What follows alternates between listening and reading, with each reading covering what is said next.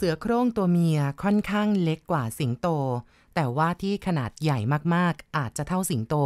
แล้วก็สง่างามไม่แพ้กันนะคะ เสือโคร่งเป็นสัตว์เอเชียไม่มีในแอฟริกาค่ะ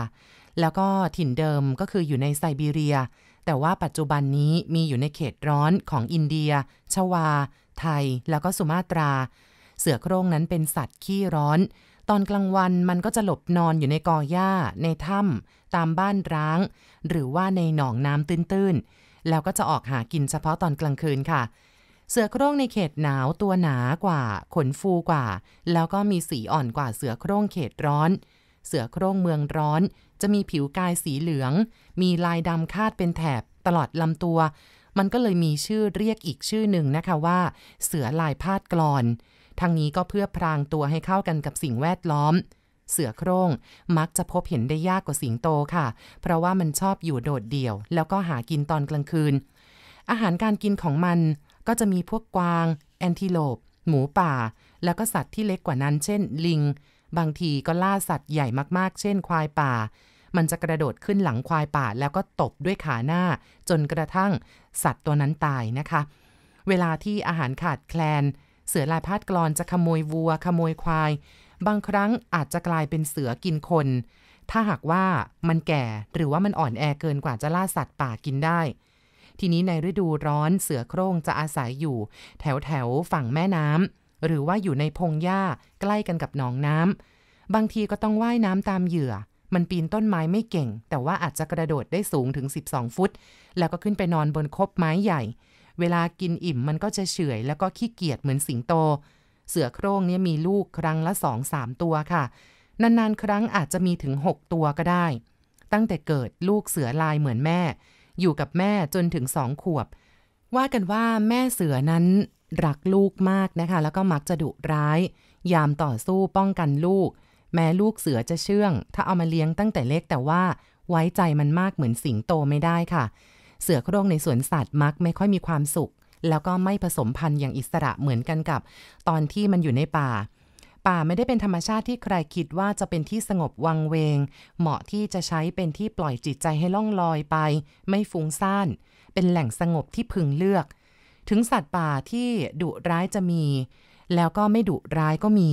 มีพูดไพรมีเทวาอารักษ์ สัตว์เหล่านี้ก็ไม่น่ากลัวนะคะ เพราะคนที่คิดเช่นนี้ถือว่าตนไม่ได้มาล่าสัตว์ หรือว่าทำร้ายสัตว์ ดังนั้น สัตว์ร้ายก็ต้องไม่ล่าตนเหมือนกัน ซึ่งการคิดแบบนี้เนี่ยผิดอย่างแรงค่ะ ป่านี่มันมีอันตรายอยู่รอบด้านหลายอย่าง อย่างที่คนที่เขาเข้าป่าล่าสัตว์ หรือว่าคนที่เขาหากินอยู่กับป่า เขาจะบอกว่า คืบก็ป่า ศอกก็ป่า ป่านี่นะคะ ไม่ใช่ว่า ใครที่จะไม่เชื่อต่อสิ่งลี้ลับ แล้วก็เข้าไปละลาบละล้วงไปจับจ้วง คนที่เขาเข้าป่านี่เขาเถียงชนิดคอเป็นเอ็นเลย อันนี้ก็เตือนด้วยความหวังดีนะคะ ป่าน่ากลัวเท่าๆกันกับคำว่าน่ารักค่ะ สิ่งที่คุณไม่เชื่อนั่นแหละค่ะจะทำให้คุณเป็นบ้าจำเอาไว้ว่าในป่า มันป่า ผู้คนเหล่านี้เขาไม่ได้โกหกมดเท็จ แต่ประการใด เพราะว่าสิ่งที่เขาเล่านั้น มันตื่นเต้นผจญภัย แล้วก็ไอ้ที่ร้ายที่สุด คือคนที่เคยได้ยินเสียงรถมอเตอร์ไซค์ท่อไอเสียพัง หรือว่าจงใจถอดอะไรก็แล้วแต่ คนที่คุ้นอยู่กับห้องแอร์เครื่องปรับอากาศ แล้วก็แสงสว่างอยู่เป็นประจำก็เหมือนคนเปิดไฟ 500 แรงเทียนสว่างโร่อ่านหนังสือเรื่องผีนี่แหละนะคะรับรองว่า ท่านก็ไม่กลัว หรือคิดเลยเถิดไปว่าผีไม่มีในโลก ตรงกันข้ามค่ะคุณผู้ฟัง หากว่าได้ไปอยู่บนห้างยิงสัตว์ในป่าโป่งดุ ถ้าหากว่ายังเชื่อมั่นในความคิด ที่ว่าพรานเก่าเล่าให้ฟังนั้นไร้สาระแล้วก็ตอนนั้นก็ขอเตือนเอาไว้ก่อนว่าพึงระมัดระวังตัว เพิ่มเป็นสิบเท่าเลยนะคะเข้าป่าอย่าฝืนพานคนใหม่ป่าอย่าไปไหนคนเดียว ไม่ว่าคุณจะมีปืนดีอนุภาพแรง แต่ตอนที่ความรู้สึกสติมันโบยบินไปแล้ว อาวุธคุณ ก็ไม่มีสภาพอะไร ไม่แตกต่างไปกับเศษเหล็กเศษไม้ ย้อนกลับไปหลายปีมาแล้วค่ะ ตัวเจ้าของเรื่องซึ่งเป็นนายพรานเก่านะคะ บอกว่าพวกผม 6-7 คน แล้วก็พรานสมัครเล่น 3 ฤดูกาล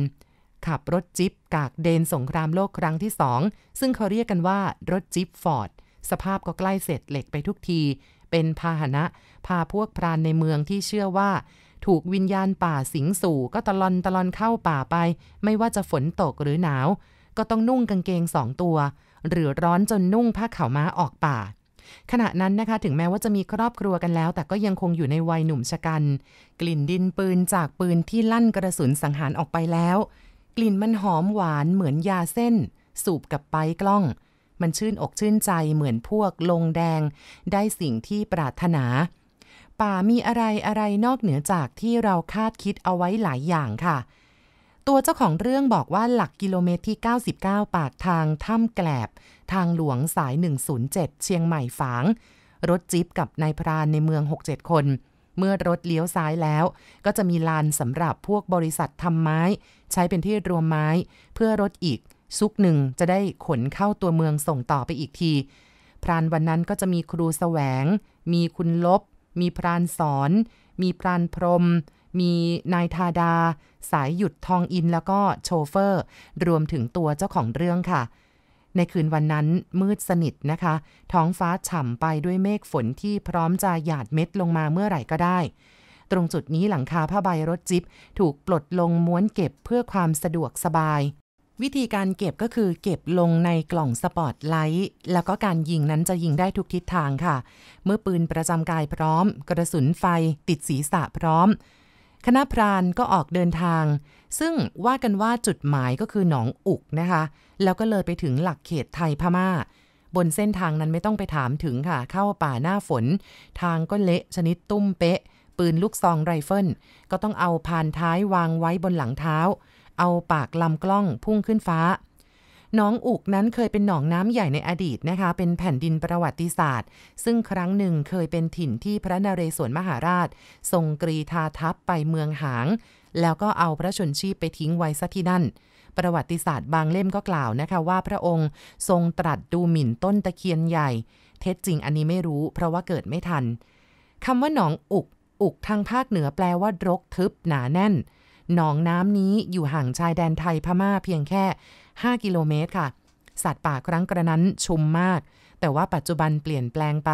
ก่อนที่จะมาเป็นชุมชนใหญ่ เป็นที่พักฟื้นของบรรดา ทหารกองพล 93 ที่เข้าร่วมกันกับผอกอคอในศึกชิงเขาคาะก่อนหน้านั้นเป็นที่ลี้ภัยอันร่มเย็นของหมู่ไทยใหญ่อิสระ และก็เป็นเส้นทางลำเลียงฝิ่นของคาราวานจีนห่อ แล้วก็ผีหนองอุกเนี่ยนะคะว่ากันว่าไม่น้อยหน้าใคร คุณผู้ฟังอาจจะสงสัยว่าอันตรายรอบด้านขนาดนี้ แล้วทำไมไม่เปลี่ยนที่ไป อันนี้ก็จะขอเรียนให้ทราบตรงนี้เลยว่า ทางใครทางมันค่ะ ทีมของเขาก็ยุ่งกับการส่องไฟส่องสัตว์ ฝิ่นไม่สนแต่ก็โชคดีละที่เราไม่ค่อยได้เจอกัน เจอแต่ผีนี่แหละนะคะที่ชอบมาลองของวัดเก่าหรือวัดร้าง ซึ่งมีเศษอิฐเศษกระเบื้องให้เห็นเต็มไปหมด เก้งกวางปรากฏให้เห็นบ่อยๆ นับสิบสิบเที่ยว ไม่เคยมีใครยิงได้ แปลก แต่มันก็เป็นความจริง ทีนี้ รถจิบนี่ผ่านทางแยกนาหวายที่ตั้งหน่วยตอชดอไปแล้ว ถ้าฝนไม่ตกทางเละก็จะแวะเข้าไปรับจ่าแหลม ซึ่งเป็นพรานตอชดอ ผู้ซึ่งเคยเอาปืน 30.06 กาแลนยิงผีที่มาตบไหลกวางมาแล้วนะคะ ไม่เกินความจริงเลยค่ะ ว่าที่นี่เนี่ยผีดุดุทั้งคนดุทั้งผี รถผ่านน้ำชูหรือว่าน้ำรูน้ำซับมาแล้ว ทีนี้ครูแสวงก็รับหน้าที่ส่องไฟ เจอนาเด้งสองครั้ง ก่อนจะถึงสถานีศุลการักษ์ที่สร้าง แต่ก็รกร้างเพราะว่าไม่มีเจ้าหน้าที่ประจำเสาธงแป๊บน้ำก็ยังตั้งโดเดไม่มีธงติด ไม่ว่ายอดเสาหรือโคนเสา เก้งสองตัวที่เจอก็ไม่ทันได้ยิง เพราะคิดว่าคณะล่าชุดอื่นๆ คงผ่านมาแล้ว ก็มีแสงไฟส่องสาดหน้าเต็มๆ และหลังจากนั้นก็มีเสียงเหมือนฟ้าผ่าดังตามมาค่ะ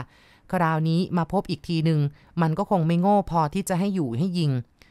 รถของคณะนี้นะคะ ก็ผ่านหนองหมูช่อ พุ่งขึ้นสู่หนองอุก คืนนั้นโชคไม่ดีค่ะไม่เจออะไร แม้กระทั่ง นกก็ไม่มี ก็คือนกตบยุง หรือว่านกตาฟาง นอนกลางทางที่รถจิ๊บผ่าน ดวงตาของมันก็เป็นสีส้มๆ ตัวลายขนสีเดียวกันกับนกเขาแมว รถนี่เคลื่อนไปประมาณ 7-8 กิโลเมตร จากด่านศุลกากร ในที่สุดก็เข้าเขตหนองอุก รถก็จอดอากาศก็เย็นทำให้เครื่องเย็นดังเบาๆ ครูแสวงแกก็กวาดแสงไฟลำสปอตไลท์ไปทั่วหนอง มองเห็นเส้นทางขวามือ ส่วนแยกไปทางหนอง ฝั่งซ้ายมือนี่คือวัดร้างหรือวัดห้าง ที่ว่ากันว่าอาถรรพ์เหลือเกิน ผีดุเหลือเกิน วูบหนึ่งของความคิดก็ผ่านเข้ามาในความรู้สึกทำให้แงนหน้าดูท้องฟ้า ซึ่งมีแต่เมฆฝนและก็ความชุ่มฉ่ำไม่มีดาวให้เห็นเลยแม้แต่ดวงเดียวค่ะ ตัวนายพรานท่านนี้เลยตัดสินใจว่าอะเดี๋ยวจะลงเดินส่องไฟเข้าไปในป่า ซึ่งมันก็คงจะพอมีทาง เพราะขืนนั่งรถไปหมดเลย ถ้าไม่เจออะไรก็คือไม่เจอกันหมด แยกสายกันเดินดีกว่า เผื่อว่าบางสายอาจจะโชคดี ก็เลยบอกว่าอะครูแหวงจอดจอด พร้อมกับส่องไฟพให้นะคะ นายทองอินซึ่งขับรถช้าเพื่อให้ไฟได้ส่องไปดู พวกกวางพวกอากวางแช่ข้อ รถก็จอดหยุดสนิท ครูแสวงก็คิดว่าตัวของเขาน่าจะเห็นอะไรเลยกวาดไฟไปทั่วบริเวณเป็นวงกลม แสงไฟสาดส่องทะลุพวกต้นไม้ จะเป็นต้นเถิง ไม้แงะไม้เปา ป่าเบญจพรรณมองเห็นได้เกือบ 200 เมตรค่ะ ผมจะลงตรงนี้แล้วก็ส่องไฟไป ถ้าไม่เจออะไรก็จะวกขึ้นหนองเขียว พรุ่งนี้8โมงเช้าพบกันตรงนี้นะ ใครคนหนึ่งถามอ่าแล้วคุณคีดจะไปกับใครล่ะ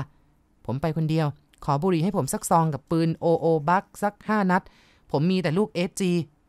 ครูแสวงก็ถามว่า ไหวเหรอ เอานะ ผมไม่หลงหรอก ถ้าหากว่าผมเข้ามาถึง8โมงเช้าเนี่ย ผมจะหักกิ่งไม้วางเอาไว้ตรงนี้ แล้วก็ส่องย้อนทางเก่าที่เรามาเมื่อตะกี้นี่แหละ ถ้าสมมุติว่าผมเข้าไปออกมาก่อน8โมงนะ สรุปไม่มีใครคัดค้านนะคะ เพราะว่ายังมีอีกหลายคนหลายชองที่ลองส่องแบบเดียวกัน แล้วก็เสียเวลาเตรียมปืน ลูกปืน ลูกย่อยเอาไว้ ด้านซ้าย ลูกใหญ่ OO Buck SG เอาไว้ด้านขวา แล้วก็ไม่ลืมแบตเตอรี่ 6 โวลต์ 8 แอมป์หุ้มพลาสติกคาดเอว แล้วก็มีกล้วยตากอีก 3-4 ลูก เอาไว้กันหิวในตอนดึกนะคะ กระติกน้ำก็พร้อมไม่ลืมหลอด พร้อมกับอะไหล่ PR จุด12 อีก 2 หลอด คุณผู้ฟังคะอาจจะดูจุกจิก แต่ว่านี่เป็นสิ่งที่จำเป็น เพราะว่าครั้งหนึ่งที่ตามเสือหลอดไฟที่ติดศีรษะนี่มันขาด วิ่งป่าราบเลย พรานจะกล้านอกจากกำลังใจแล้วอุปกรณ์แล้วก็เครื่องทุ่นแรงก็ต้องพร้อมด้วยนะคะ ตัวของนายพรานท่านนี้ค่ะคุณผู้ฟังคะก็ไปยืนอยู่ตรงทางแยก ไฟแล้วก็ปืนก็พร้อม มองดูรถจิ๊บที่วิ่งจากไปช้าๆ จนกระทั่งความมืดนั้น เข้ามาปกคลุมในจุดที่ยืน มองเห็นความสว่างจากสปอตไลท์ ในมือครูแสวงที่สาดส่องไป พร้อมกับไฟแดงๆ ท้ายรถ สว่างเรืองๆ จนลับโค้งไป คราวนี้ค่ะ ป่าทั้งป่าในจุดที่นายพรานท่านนี้ยืนอยู่ ก็มีแต่ความมืดมิดและก็ความเงียบนะคะ ช่วงนี้ไม่ว่าพรานใหม่พรานเก่าจะเกิดความรู้สึกที่ว่า ตั้งแต่นี้เป็นต้นไป ตนนั่นแหละค่ะเป็นที่พึ่งแห่งตน ในตอนนั้นเขาเองก็เกิดความรู้สึกว้าเหวเหมือนกัน แต่ว่าอาศัยความมั่นใจในตัวเอง แต่ที่เกรงกริ่งก็คือ ขบวนการขนฝิ่นจากจีนห่อเท่านั้นไฟฉาย 3 ท่อนถูกนำมาส่องไปก่อน เพราะว่าต้องการประหยัดแรงไฟจากแบตเตอรี่รถมอเตอร์ไซค์6โวลต์8แอมป์ ทีนี้เดินมาได้ประมาณ 100 เมตรนะคะ ก็เปลี่ยนเป็นไฟใหญ่จากแบตเตอรี่แทน ลำไฟสว่างขาวนวลสาดส่องไปในระยะไกลสองฝากทางนั้น เรียกว่ามีแต่ความเงียบ ทางสายนี้ เมื่อปีที่แล้วเขายังจำได้ถึงจ่าแหลม ต่อชะดอบ้านนาหวายจำได้แม้ทุ่งหญ้าคาใต้ต้นไม้ มองโล่งโปร่งเห็นได้ไกล ไฟคาดหัวส่องไป ก็คิดถึง5โมงเย็นของวันนั้น คือจ่าแหลมพรานผู้ล่าด้วยปืน 30.06 M1 กาแลน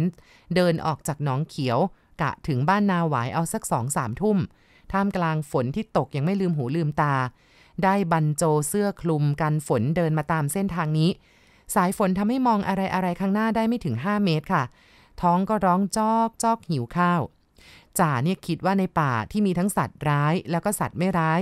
เวลานี้ก็คงจะมีแต่เขาคนเดียวนั่นแหละที่มาเดินกรำฝน เหมือนคนไม่รู้ร้อนรู้หนาว ยามที่ฝนฟ้าฉ่ำแบบนี้ แล้วก็ไม่มีลม มีแต่เม็ดฝนโปรยลงมาเหมือนละอองทั่วทั้งป่า แล้วก็เปียกไปทั้งตัว เดินกลับที่พักเหมือนทหารพ่ายศึก ในช่วงเวลาที่กำลังคิดอะไรร้อยแปดบนเส้นทางเดี่ยว เดียวกันกับที่ตัวของนายพรานท่านนี้เนี่ยนะคะกำลังเดินอยู่ จ่าแหลมเองก็รู้นะคะว่าเขาไม่ได้เดินทางคนเดียว ท่ามกลางสายฝนเบื้องหน้า ห่างไปไม่เกิน 25 เมตรค่ะ เป็นร่างของชาวบ้านคนหนึ่งอาจจะเป็นพราน เช่นกันกับจ่าแหลมก็ได้ จ่าแหลมคิด จ่าแหลมเองก็เร่งฝีเท้าอีกนิดหนึ่งก็พอมองเห็นค่ะ ว่าชายคนนั้นใส่เสื้อมอห้อม กางเกงแบบพื้นเมืองทางเหนือนิยมใช้ ที่เขาเรียกกันว่าเตี่ยวชะดอ จ่าแหลมเห็นว่าร่างนั้นเดินเหมือนคนอ้วนเดิน โครงซ้ายทีขวาที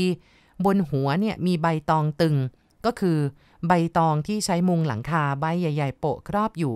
จ่าก็นึกชมชาวบ้านผู้นี้นะคะว่า เออมีความคิดไม่เลวนี่จ่าซะอีกยังลืมนึกไปว่าเขาเนี่ยควรจะเอาอย่างชายคนที่เดินนำหน้าจ่าจ่าแหลมก็เกิดความรู้สึกว่าดีเหมือนกันจะได้เดินเป็นเพื่อนคุยกันไป เพราะว่าคนบ้านเมืองอะเนาะหรือว่าบ้านนาหวายไม่ว่าจะเป็นพรานหรือไม่จ่านายนี้รู้จักแทบทุกคนค่ะ ทีนี้ก็พยายามเดินเร่งฝีเท้าให้ใกล้ขึ้น จะได้ตะโกนถามถ่ายชื่อแท้กันได้บ้าง เสียงฝนก็ตกดังกระนำจนจ่าแหลมต้องเอามือปาดน้ำที่ไหลเข้าตาออก เพราะเมื่อจ่าแหลมเดินเข้าไปเกือบ 10 เมตร จึงคิดว่าระยะนี้ถ้าตะโกนแข่งกันกับเสียงฝนเนี่ยนะคะ คงจะได้ยินเลยตะโกนไปเป็นภาษาเหนือว่า อ้ายอ้าย ไปทางใดมา คือไปทางไหนมา เจ้าของร่างนั้นก็หยุด แล้วก็หมุนตัวกลับมาทิศทางที่มีเสียงเรียก คุณผู้ฟังคะจ่าแหลมบอกบอกว่าในระยะประมาณ 4 เมตรเนี่ย ทันทีที่ร่างนั้นหันมาค่ะ แทบช็อกตายหัวใจตกวูบไปอยู่เพียงแค่ตาตุ่ม คือใบหน้าที่หันมา มันไม่ใช่คน แต่มันเป็นหมีควายตัวมะฮือมา ใบหูของมันนี่ขาดแหว่ง อาจจะเกิดเพราะ ชิงความเป็นจ่าฝูง หรือไม่ก็ต่อสู้กับกรงเล็บเสือดาวมา ใบหูก็เลยฉีก ดังนั้นปัญหาของมันก็คือการเดินเอียงคอตะแคง แต่ที่รู้ภายหลังคือ มันหูขาดทั้งสองข้าง น้ำฝนก็เลยเข้าหูมันสร้างความรำคาญมาก ค่ะหมีควายที่หน้าอกเนี่ยเป็นรูปตัววีนั่นแหละนะคะเมื่อมันหันหน้ามาปากก็สแยะอ้าแดงแจ๋จ่าแหลมพงะหมีก็พงะเหมือนกัน ทั้งหมีทั้งคนตกใจกัน ทั้งทางที่มันก็เดินเอาหูหลบฝน โดยยืนสองขา บนหลังมันก็มีใบไม้คลุมหัว เหมือนกับพระบัวเข็ม หมีเนี่ยสะดุ้งสุดตัว มันรู้ทันทีถึงอนุภาพของท่อเหล็กมีไกและมีความบาดเจ็บ และก็ความตายมาพร้อมกันกับเสียงแผดกำปนาตที่มันดังราวฟ้าผ่าจ่าแหลมเองอึกอักค่ะ เพราะว่าหน้าสิวหน้าขวานนี้ แกสะพายปืนเอาปากลำกล้องลงกันน้ำฝนเข้าทำลาย ซึ่งน้ำฝนถ้ามันเข้าไปมันจะทำลายเกลียวในลำกล้องปืน มีหนำซ้ำนะคะ ยังมีถุงพลาสติกห่อหุ้มปากลำกล้อง แล้วก็สูนหน้าเอาไว้ คือจะยิงตอนนั้นก็รูดไม่ทัน แต่ถ้าขืนยิงทั้งๆทที่มีวัสดุปิดบังปากลำกล้องอยู่ลำกล้องปืนก็แตก พรานรู้ดีทุกคน มีนี่ตัดสินใจเร็วกว่าจ่าค่ะ มันย่อตัวลงคลานสี่ขา ใบตองตึงที่ใช้คลุมหัวก็ปลิวหลุดลงพื้น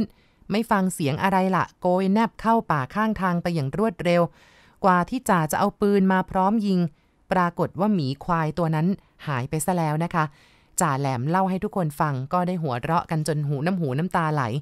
แต่ว่าในคืนนั้นนะคะคืนที่ในพรานสังคีตเดินบนเส้นทางด่านสัตว์จากน้องอุกสู่น้องเขียว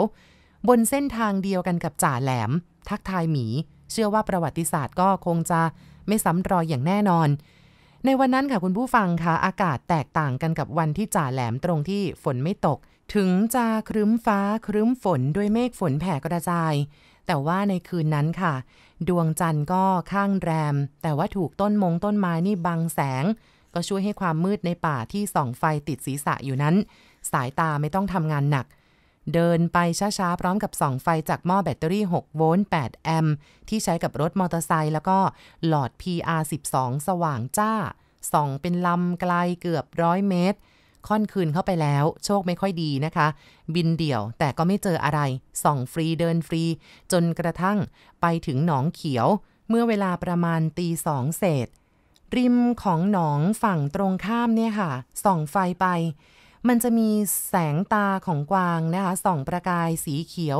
ประดุดว่าเป็นดวงดาว เวลาที่โดนไฟฉายกระทบนะคะกวางมันก็จะหมุนกลับอย่างไม่ลังเล คือเหมือนกับว่ามันรู้ตัวแล้วค่ะว่า ได้มีไฟฉายกราดลำเช่นนี้เดี๋ยวอีกแป๊บหนึ่งเสียงฟ้าผ่าจะตามมา กวางก็คงจะเคยโดนปืนมาแล้ว ทีนี้เวลาตีสามกว่าค่ะ ได้ส่องแสงไฟไปทางไหนก็ตาม ปืนก็จะหมุนตามไปที่หน้าจนเมื่อยคอ ทีนี้ชักจะง่วงตังหิดตังหิดเลยสรุปเอาง่าย ๆ ว่าอะกลับดีกว่า มาเที่ยวนี้ไม่มีโชค ตีสามกับระยะทางเกือบ 10 กิโลก็คงจะพอดีสว่าง ถึงจุดนัดพบกับรถจิบพวกที่เลยไปต่อเขตพม่า เดินอยู่รอบๆขอบหนองสรอบหนึ่งก็ไม่มีอะไรค่ะ นอกจากอีเห็น แล้วก็นกกระบ้าก็คือนกตาฟาง หรืออีกชื่อหนึ่งคือนกตบยุง พอเป็นเพื่อนให้สะดุ้งประสาทตื่นเล่นเท่านั้นน่ะนะคะ ทีนี้เมื่อไม่พบตาเก้งตากวางจิตใจก็อ่อนล้า ปืนลูกซองยีโก้สะพายคล้องไหล่แล้วก็เดิน แต่ว่าไฟก็ยังคงสาดส่องอยู่เรื่อยๆค่ะ ออกจากหนองเขียวมาได้สักแค่ 2 กิโล ป่ายะคาสูงแค่เข่า เป็นทุ่งโล่งแซมไปด้วยต้นไม้แล้วก็พวกไม้เปาไม้กระบากมองเห็นได้ไกล เมื่อมีอะไรที่ตื่นเต้นความเงียบ มันก็จะได้ยินแม้กระทั่งเสียงหัวใจตัวเอง เสียงเต้นของหัวใจ เสียงกบเสียงเขียด ลมพัดใบไม้ร่วง ก็ไม่ประมาทนะคะใครที่เข้าไปในป่าแบบนั้น เพราะว่าสภาวะแบบนี้โดนมาเยอะ เสือเข้าแง่แง่ก็นึกในใจ ถึงสะพายปืนค่ะ แต่ก็พร้อมจะยิง คือถ้ามีอะไรไม่ชอบมาพากล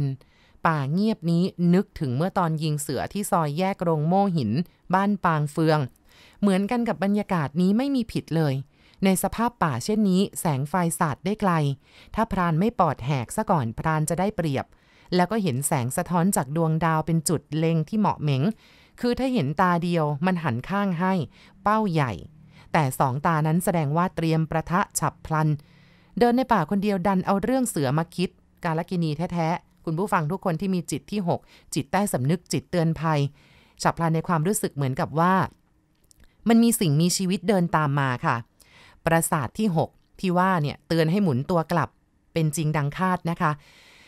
ในระยะ 30 เมตรที่ไฟฉายส่องไปทางที่เพิ่งจะเดินผ่านมา ก็พบว่ามีร่างของชาวบ้านค่ะ ใส่เสื้อมอห้อมสะพายถุงย่ามลูกใหญ่เดินก้มหน้าก้มตามา ทีนี้ตัวของพรานสังคีตชักจะเอะใจ ชาวบ้านผู้นี้ก็เดินตามมั้งแต่เมื่อไหร่ก็ไม่รู้ล่ะ ตัวเขาเองก็หยุดรอเพื่อจะให้รู้ว่าเป็นใคร เพราะว่าถิ่นบริเวณนี้รู้จักแทบทุกคน ปืนในมืออทำท่าขวางลำตัวก็คือพร้อมยิง ภายหลังบิดหางปลา หักลำกล้อง ดึงกระสุน SG โอโอบักมีเสียงกระแอมไอจากผู้ชายคนนั้นนะคะ พูดขึ้นมาบอกว่าทำไมคุณสังขีดมาคนเดียวล่ะครับ โอ้ไอ้บูนปะโทนึกว่าใคร ไอ้บูนก็คือชาวบ้านปางเฟือง ทำมาหากิน ค้าของในป่า ระหว่างเมืองงายเมืองนะ ก็เร่ร่อนไปสุด แต่จะมีอะไรพอขายบ้าง คุณสังขีดปิดไฟก่อนเถอะ แสงเข้าตาผมอแล้วไอ้บูนทำไมมาคนเดียวล่ะ มากันสี่คน ไอ้หวัน ไอ้เทียน ไอ้เผือกสามคน นอนอยู่ขอบหนองเขียวนุ่น นัดพวกพม่าเอาวัวมาขายรอสามวันแล้วก็ยังไม่มา เลยคิดว่าจะไม่รอแล้ว เหรอ แล้วไอ้บูนทำไมไม่รู้ว่าเป็นเราล่ะ ก็ถามไปค่ะ จมูกนี่ได้กลิ่นสางเหมือนดอกอุตภิษหรือว่าดอกบุก หรือว่าคล้ายๆสุนัขเลี้ยงในอ่างน้ำแล้วก็ให้ไปคลุกซากไก่เน่า ตัวคุณคิดนะคะก็บอกว่า แล้วไอ้บูนจะไปเมืองนะ หรือว่าจะไปเมืองแตง จะไปเมืองนะ ไปรอพวกที่นอนอยู่ ไอ้บูนก็ตอบสั้นๆ เสียงไก่ป่าเริ่มขันรอบๆข้างบอกเวลาว่าใกล้สว่าง คุณคีดก็บอกว่า งั้นไปเหอะไอ้บูนเวลาส่องไฟเหลือน้อยแล้ว พูดจบก็ออกเดินนำหน้าแล้วก็เปิดไฟ พอเริ่มเดินกลิ่นเหม็นสาบสางก็ลอยมาประทะจมูกอีก เดินมาได้สักสองสนามฟุตบอลนะคะ แต่ก็แปลกใจว่าเอ๊ะทำไมป่ามันเงียบเหลือเกิน ขยับมือซ้ายไป ขยับสายสะพายปืนมา มือไปถูกพระที่คล้องคอ เหมือนมีเสียงแว่วที่หูว่า อย่าเดินนำหน้ามันอันตราย ทีแรกเนี่ยก็คิดว่าหูเพี้ยน คราวนี้ค่ะ ก็รู้สึกถึงเรื่องกลิ่นทำให้นึกถึงเสียงแว่วของไอ้บูน ผิดสังเกตหลายอย่าง ไอ้บูนทิ้งพักพวกเอาไว้แล้วมาเดินตามผมทำไม ตัวคุณคีดบอก รวมถึงกลิ่นสาบที่มันลอยมา ป่าที่มันเงียบ ไอ้บูนก็พูดน้อยไม่เหมือนทุกครั้งที่เคยเที่ยวป่าด้วยกัน คือมันบอกไม่ถูกนะฮะว่า มีอะไรที่ทำให้เกิดความระแวงไอ้บูนแล้วทำไมมันไม่สู้ไฟ ข้อประหลาดก็คือไอ้บูนไม่สูบบุหรี่ ไอ้บูนไม่ใช้ไฟ หรือว่า อืม มันเป็น สับสนวุ่นวายไปหมดในความคิด ก็ถามตัวเองอีกนะคะว่าคำพูดที่มันก้องอยู่ในหูเนี่ยเป็นเสียงของใคร น่าจะเป็นจิตใต้สำนึกหรือไม่ก็สิ่งศักดิ์สิทธิ์ที่คอยเตือนว่า อย่าเดินนำหน้าอันตราย ก็เลยแวะลงข้างทาง ปลดปืนออกจากบ่าพร้อมกับปลดเซฟ ห้ามไกลปืน ปากก็สั่งไอ้บูนนะคะว่า บูนเดินไปก่อนเถอะ ไม่เจออะไรแล้วเบื่อว่ะบูนก็ไม่ตอบ แต่ก็เดินแซงไป ในขณะเดียวกันค่ะ ตัวเขาก็แกล้งทำเป็นปวดปัสสาวะ ได้ผลไอ้บูนให้เดินนำไป มันก็เดินนำไป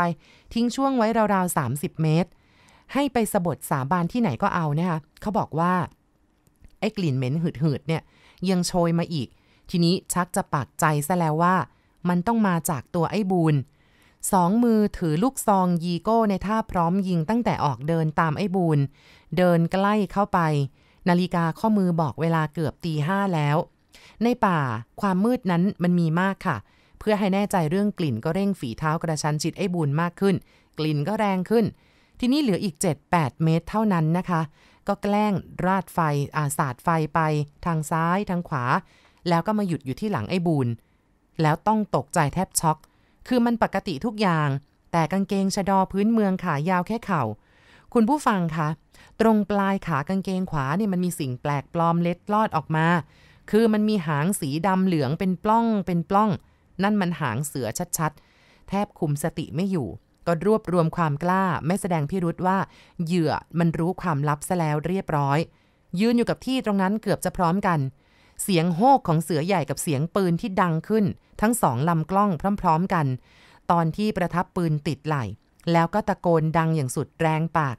ยิงปืนแบบนี้ลำกล้องก็สายสะบัด ตะโกนขึ้นไปบอกไอ้บุญ คำเดียวเท่านั้นค่ะ มันก็หันกลับมา ให้สบทสาบานที่ไหนก็เอาอีก จากไฟส่องสัตว์มองเห็นว่า ใบหน้าของคนมันไม่ใช่เป็นหน้าไอ้บูนแล้ว มันเป็นหน้าคนแก่ ดวงตากระทบไฟมีประกายวาวแววสีแดง เหมือนไฟไหม้ขอนอมส้ม คือปกติตาคนถูกไฟเนี่ยมันจะไม่มีแสงเรืองๆตอบนะคะ กระสุนสองนัดซ้อนๆอาจจะถูกไม่กี่อ่าไม่เม็ดหนึ่งก็ 2 เม็ดอะไรอย่างนี้แหละ ก็คือเป็นลูกปืนลูกตะกั่ว ร่างนี้ก็ปลิวไปตามแรงประทะค่ะ พอตั้งหลักลุกขึ้นมาได้ มันไม่ใช่ไอ้บูนมันกลายเป็นเสือลายพาดกรอนจางๆ ซีดๆ โดดเข้าป่าข้างทาง ตัวเขาก็ยัดลูกปืนใหม่สาดกระสุนอัดเข้าไปอีก จะถูกไม่ถูกก็ไม่รู้นะคะ แต่ว่าเอาเสียงปืนเป็นเพื่อนนะคะ นี่ก็เป็นประสบการณ์ที่รอดชีวิตออกมาจากป่าไพร อย่างที่เขาบอกไปว่า คืบก็ป่า ศอกก็ป่า เพราะฉะนั้นประมาทป่าไม่ได้ สรุปนะคะว่า ในพรานคีดคนนี้ลอดออกมาจากการที่ถูกเสือสมิงตนนี้ทำร้ายได้อย่างหวุดหวิดนะคะ เพราะว่าหลังจากที่แกยิงเสือตนนั้นแล้ว แกก็ยืนรอยิงเสืออยู่ ปรากฏว่ามันไม่มีออกมาอีกเลย แกก็เดินตามทางของแกไปเรื่อยๆจนกระทั่งเช้า ก็ไปรอพบกับกลุ่มเพื่อนๆ ที่ขับรถจิ๊บมาอยู่ตรงจุดที่นัดหมายกันเอาไว้ค่ะ สุสานเป็นสถานที่ที่เงียบสงบค่ะ แล้วก็เปล่าเปลี่ยว เป็นที่ที่มีมนขลังในตัวเอง สภาพแวดล้อมที่คลาคล่ำไปด้วยศพนับร้อยนับพัน ป้ายหลุมศพที่ตระงานก็ยิ่งตอกย้ำ บรรยากาศความน่ากลัว ให้ทวีคูณขึ้น บางหลุมมีร่องรอยที่เพิ่งจะกลบเกลี่ย ที่แสดงให้รู้นะคะว่าเพิ่งจะมีร่าง ที่ไร้วิญญาณของใครสักคนหนึ่งฝังตัวอยู่ แน่นอนค่ะ ว่าน้อยคนนักที่อยากจะเข้าไปข้องแวะ ไปยุ่งเกี่ยวในสุสานเป็นเวลานานๆ โดยเฉพาะอย่างยิ่งในเวลากลางคืน ในช่วงที่ดึกสงัดไร้แสงดาวแสงเดือน สุสานไม่ว่าจะเป็นของชนชาติใดศาสนาใด สภาพแวดล้อมอาจจะไม่ได้แตกต่างกันนัก ในแง่ของความน่ากลัว เพราะว่าเป็นที่ที่คนเป็นๆนั้นไม่อยากจะเข้าไปยุ่งเกี่ยว ที่ต่างกันก็เป็นเพียงแค่สถาปัตยกรรม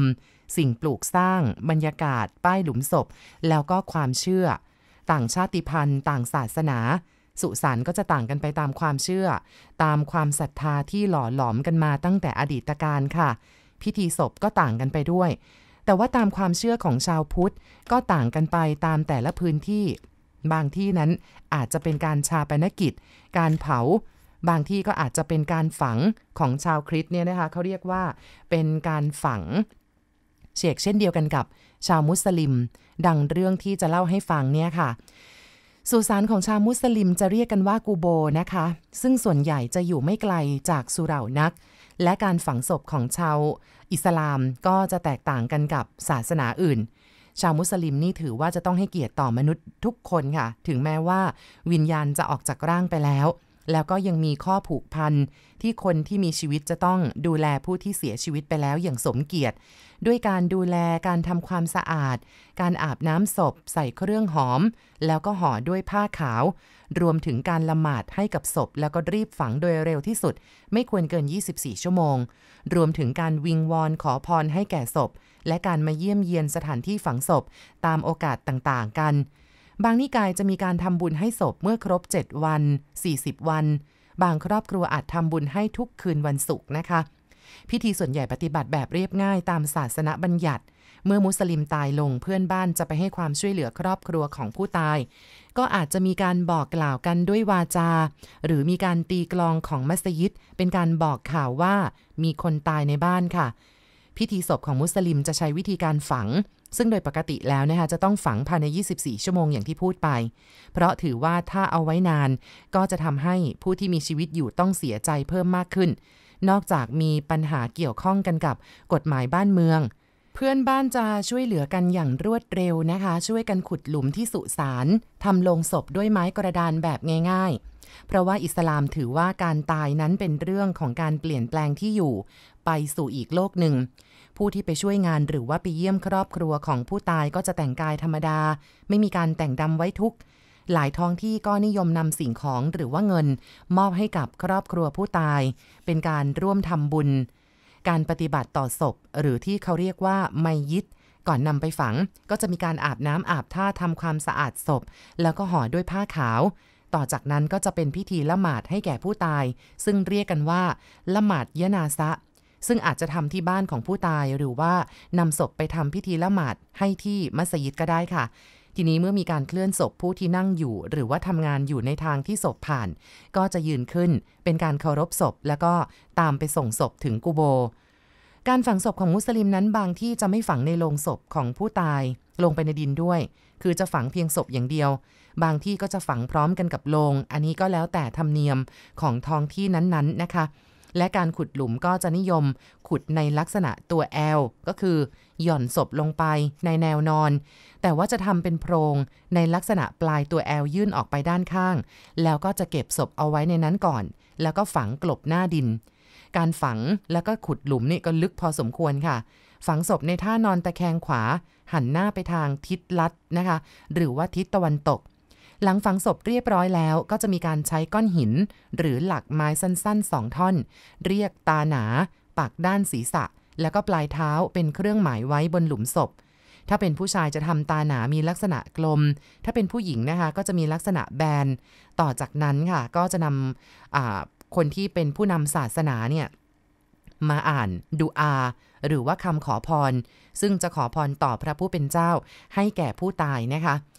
หลังจากฝังศพแล้วก็จะมีประเพณีที่อยู่ข้างหลังเนี่ยมักจะปฏิบัติก็คือการเยี่ยมสุสานเพื่อที่จะระลึกถึงความตาย ไม่ตั้งอยู่ในความประมาท ก็จะมีการทำบุญ เรียกกันว่านูดหรีที่บ้านหรือสุเหร่าเพื่ออุทิศให้แก่ผู้ตาย ซึ่งก็จะทำกันในวันตาย แล้วก็ช่วงระยะ 3 วัน 7 วัน 40 วันหรือ 100 วัน ก็ตามความเหมาะสมค่ะ บางแห่ง ที่จัดให้มีการทำบุญ 40 วัน เจ้าภาพก็จะจัดพิมพ์ประกาศ หรือว่าบอกกล่าวแก่ญาติมิตร ให้ทราบแล้วก็มาร่วม ทีนี้ก็จะมีการเลี้ยงอาหารโดยเชิญผู้นำศาสนามาร่วม ขอพรจากพระผู้เป็นเจ้านะคะพิธีศพของไทยมุสลิมในจังหวัดต่างๆ ส่วนใหญ่ปฏิบัติตามหลักของศาสนาดังที่กล่าวสำหรับนอกเหนือจากนั้น เช่น วันตาย เจ้าภาพจัดเลี้ยงอาหารแก่ผู้มาเยี่ยม การทำบุญให้แก่ผู้ตาย เมื่อครบ 3 วัน 7 วันหรือ 40 วัน การก่อสร้างหลุมศพให้สวยงาม หรือว่าการนำอาหารคาวหวานไปทำบุญที่กูโบ ซึ่งก็ถือว่าเป็นประเพณีที่สืบทอด แล้วก็ผสมผสาน ซึ่งบางอย่างเปลี่ยนแปลงไปตามความเหมาะสมค่ะคุณผู้ฟังคะกูโบ หรือว่าสุสานของชาวมุสลิมนั้นจะไม่เปิดให้คนเข้าไปในเวลากลางคืน แต่ว่าอาจจะมีบ้างในบางกรณีนะคะ ก็คือตอนที่ญาติของผู้ตายมาเฝ้าศพในอาทิตย์แรกของการฝัง จากนั้นจะไม่อนุญาตให้ใครเข้าในยามวิกาล และแวกที่ชาวมุสลิมอยู่กันเยอะ เป็นชุมชนใหญ่ก็จะมีกูโบมาก ตามเชกเช่น ที่ไหนมีวัด ที่นั่นย่อมมีสถูปเก็บกระดูก มีป่าช้า เช่นกัน ในสมัยก่อนนมวัวนั้นยังไม่แพร่หลายค่ะ ก็จะมีเพียงแค่นมแพะเท่านั้น ฉะนั้นการที่ใครอยากจะดื่มนมในสมัยโน้นนะคะ ก็จะต้องเดินทางมาซื้อที่ชุมชนของชาวมุสลิม ในกรุงเทพไม่ว่าจะเป็นย่านอ่อนนุชลาดกระบัง มีนบุรีหนองจอก หรือแม้แต่ในละแวกทุ่งบางกะปิอันลือลั่น ซึ่งก็กินอาณาบริเวณจากย่านบางกะปิจรดคลองพระขนง นี่ก็เป็นอีกบริเวณหนึ่ง ซึ่งมีกูโบเก่าแก่ตั้งอยู่มากมาย แน่นอนค่ะ สถานที่เก่าแก่ย่อมมีเรื่องเล่า ซึ่งเป็นตำนานอยู่เยอะ ไม่เว้นแม้แต่เรื่องราวสยองขวัญสั่นประสาท เรื่องผีนี่แหละนะคะ การเชื่อเรื่องผีเรื่องสางเรื่องวิญญาณต่างๆ นั้นชาวมุสลิมเองเขาก็มีความเชื่อแตกต่างกันอย่างชาวพุทธ โดยสิ้นเชิงนะคะ ว่ากันว่าร่างคนตาย ชาวมุสลิมในไทยไม่นิยมเรียกคนตายว่าศพ เพราะผู้ตายไม่ใช่ซากผี แต่จะใช้คำทางศาสนาว่ามายัดแทนคำว่าศพ ชาวมุสลิมก็เลยไม่กลัวผู้ที่ตายชาวพุทธมีความเชื่อในเรื่องของการเวียนว่ายตายเกิด อันเป็นวัฏสงสาร มีการก่อเกิดในอีกชาติภพข้างหน้า วิญญาณที่แตกดับเมื่อชดใช้กรรมเสร็จแล้ว ก็จะมีการกลับชาติมาเกิดใหม่อีกครั้งหนึ่ง แต่ว่าความเชื่อของอิสลามนั้น จะไม่มีการเกิดใหม่ในภพหน้าค่ะ คนเราเกิดมาครั้งเดียวตายครั้งเดียว แต่จะต้องรอเวลาชำระผลกรรมในอีกภพอีกมิติหนึ่งแล้วก็ไม่กลับมาเกิดใหม่ ฉะนั้นผลกรรมดีหรือว่ากรรมชั่วจะได้รับการชำระในชาตินั้นๆเลย ไม่ต้องรอชาติหน้าตามความเชื่อแบบพุทธ ซึ่งความเชื่อของอิสลามก็จะใกล้เคียงกันกับชาวคริสต์นะคะที่ไม่ต้องกลับมาเกิดใหม่ แต่ถึงอย่างไรคนไทยเราไม่ว่าจะศาสนาไหน ก็เชื่อเรื่องราวอาถรรพ์เรื่องราวลึกลับ แล้วก็โลกหลังความตายกันแทบทั้งนั้นนะคะ ซึ่งก็อาจจะเป็นเพราะว่าถูกปลูกฝังมาตั้งแต่เด็กก็ได้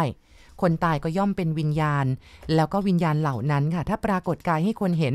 มักจะถูกเรียกว่าผีนั่นแหละนะคะ เรื่องความเฮี้ยนนั้นแน่นอนค่ะว่าทุกสุสานทุกสถานที่ที่มีคนตายมารวมกันเยอะๆ ก็มักจะมีเสียงร่ำลือกันในเรื่องของความน่ากลัวนานา ใครจะรู้บ้างล่ะคะว่า ในสมัยก่อนยุคก่อนละแวกรามคำแหงเนี่ยก็เป็นอีกหนึ่งที่ซึ่งมีกูโบ หรือว่าสุสานมุสลิมอยู่เยอะ เมื่อก่อนนั้นบริเวณมหาวิทยาลัยเปิดแห่งนี้ค่ะเป็นทุ่งนา แล้วก็ชุมชนมุสลิมที่มีคนอยู่อย่างคับข้างอีกชุมชนหนึ่ง ชุมชนใหญ่ย่อมจะมีกูโบมากเป็นเรื่องธรรมดาค่ะ สถานที่ตั้งของมหาวิทยาลัยแห่งนี้ พื้นที่บางส่วนก็เคยเป็นกูโบ หรือว่าสุสานเก่าแก่มาก่อน ทีนี้ย้อนกลับไปก่อนหน้านี้สักประมาณ 40 กว่าปีที่แล้วนะคะที่นี่ยังคงเป็นชุมชนใหญ่ ถ้าถามคนเฒ่าคนแก่ดูก็จะรู้ว่ามันเป็นแบบนั้น นักศึกษาในมหาวิทยาลัย ว่ากันว่าตอนดึกๆเนี่ยค่ะมักจะเจอเรื่องราวที่ชวนสะพรึงอยู่บ่อยๆ อย่างเช่นบอกว่า ผมได้เห็นคนแก่ใส่สรงเดินหายไปในต้นไม้ ซึ่งใกล้กันกับที่ผมจอดรถเอาไว้ ตอนนั้นนี่ผมตกใจมาก อีกใจนึงก็คิดว่าเออคงจะตาฝาดแน่ แต่ว่าเพื่อนอีกคนนึงมาก็เห็นด้วยกันเหมือนกัน เลยคิดว่าถ้าตาฝาดจริงก็ไม่น่าจะเห็นอะไรพร้อมกัน ผมก็เลยไม่กล้าไปที่จอดรถตรงนั้นอีกเลยอันนี้นักศึกษาปริญญาโทคนหนึ่งเล่าให้ฟังนะคะ เนื่องจากว่าเขาเนี่ยจะเลิกเรียนดึกเป็นภาคค่ำ วันนั้นผมเมาไปหน่อยนึงพี่ก็กินกันกับรุ่นพี่ในคณะนี่แหละ มันเพิ่งจะผ่านช่วงรับน้องไปไม่นาน ก็ยังสนุกกันอยู่ ทีนี้เขาก็ทยอยกันกลับจนหมด แต่ว่าผมเนี่ยดันหลับอยู่ที่โต๊ะคนเดียว อาจจะเป็นเพราะพวกพี่เขานึกสนุก แกล้งให้นอนอยู่คนเดียวแล้วก็หนีกลับบ้านกันโอ้โห บรรยากาศน่ากลัวเหลือเกินสำหรับคืนนั้น มองไปทางไหนก็มืด เพราะที่ตึกเนี่ยเขาปิดไปหมดแล้วสำหรับไฟ จะมีก็เพียงแค่ไฟทาง แต่ว่าอยู่ห่างไปหน่อย ตอนผมหลับอยู่เหมือนมีคนมาสะกิด พอตื่นขึ้นมากำลังงัวเงีย หันไปมองข้างตัวแทบช็อก มีผู้หญิงหน้าคมๆ คนหนึงมานั่งอยู่ข้างๆ แต่ว่าพอหันกลับไปดูอีกครั้ง ไม่มีแล้ว ก็ไม่รู้ว่าเมามากจนเบลอหรือว่าตาฝาด แต่ผมเนี่ยคิดว่าผมต้องโดนผีหลอกแน่ๆ ผมก็เลยวิ่งออกมาอย่างรวดเร็วเลยละครับ พอเลยมาหน่อยผมหันไปดูก็ยังเห็นเธอนั่งอยู่หนุ่มใต้สำเนียงทองแดงคนนี้ เล่าให้ฟังอย่างออกรถออกชาติเลยค่ะ คุณผู้ฟังคะไม่รู้ว่าจริงเท็จประการใด แต่ว่าที่นี่มักจะมีคนร่ำลือถึงเรื่องสยองขวัญอยู่บ่อยครั้ง และทีนี้เมื่อถูกนำมาโยง แล้วก็ผูกกับเรื่องพื้นที่บางส่วนของที่นั่น บอกว่าสร้างทับสุสานเก่า จึงทำให้คนที่เชื่อเรื่องผีนั้นปักใจเชื่อได้ง่ายนะคะ มหาวิทยาลัยที่อยู่ตรงรามคำแหง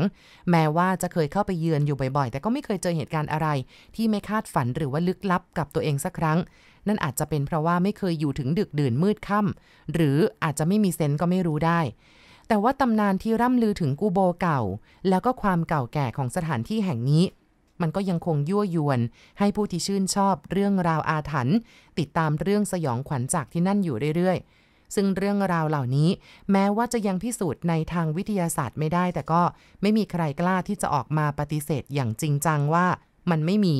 เพราะอาจจะมีหรือไม่มีก็ได้นะคะ นี่แหละก็คือมนสเสน่ห์ของตำนาน ความอาถรรพ์เรื่องเล่าที่น่าสะพรึงกลัวนั่นเองค่ะ และทั้งหมดก็คือเรื่องราวที่เรานำมาฝากคุณผู้ฟังประจำค่ำคืนนี้ ขอบคุณสำหรับการแสดงความคิดเห็น ขอบคุณทุกการกดติดตาม กดไลค์ กดแชร์ เรื่องเล่าของเราด้วยนะคะ กลับมาพบกันใหม่ในวันพรุ่งนี้ 19 นาฬิกาทางช่องพระเจอผี ค่ำคืนนี้ขอบคุณทุกการติดตามรับฟังนอนหลับฝันดีทุกๆ คนนะคะ ราตรีสวัสดิ์ค่ะ